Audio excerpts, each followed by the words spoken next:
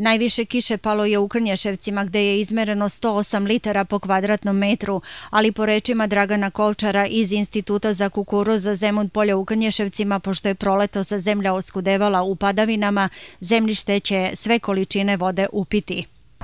Na ovim našim prostorima palo je tačno 108 litara, što je velika, velika količina padavina u kratkom ovaj, periodu. Sreća nismo imali ovaj, grada, nije bilo ovaj, štete po, po biljke, međutim imat ćemo na delovima parcela gde mm, leže voda, oštećenja od mm, vodoleža, jer će doći do gušenja mm, biljaka, mladi biljaka suncokrata i kukuruza. Mi smo danas preko puta na ovim tablama počeli da ispuštamo vodu gde je to moguće, međutim deo parcela gde su velike depresije nećemo moći da ispustimo tako da ćemo imati deo ovaj, uništenih useva, naravno ne koliko prošle godine kada je u majskim kišama palo 240 litara za kratko vreme.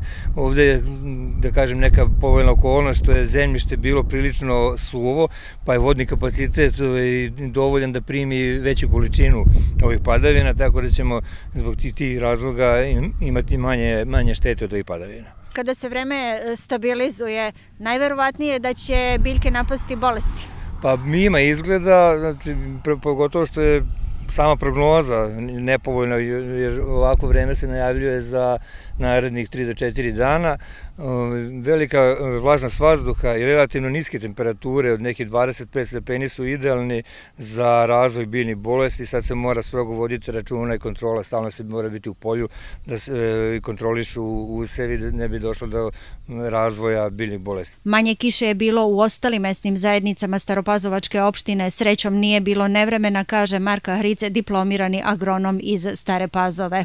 Palo je od 60 do 70 litara kiše, manje na Petrović Salašu i Podunavlju, a više u Golubincima. Inače, do prošlog vikenda u maju smo izmerili samo 15 litara. Ovo je stvarno ovaj, velika kiša. Odjednom, ne kažem da nije prijala, prijala je sigurno usena, ali bilo bi sigurno bolje da je raspoređena kako treba. Najviše je prijalo sigurno ovim ozimim strninama, baš je bilo pukotina, stvarno u ječmu, uljanoj repici. One su u fazi precvetavanja, nalivanja zrna i njima stvarno najviše treba.